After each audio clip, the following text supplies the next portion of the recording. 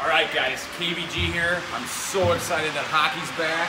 The NHL is back. So in honor of all those six saves we're about to see, in this episode of the BHL Life, I'm going to show you all the compiled KVG cuts. For those of you who don't know what that is, those are all the big saves I post on Instagram. Enjoy these saves. Enjoy the NHL playoffs.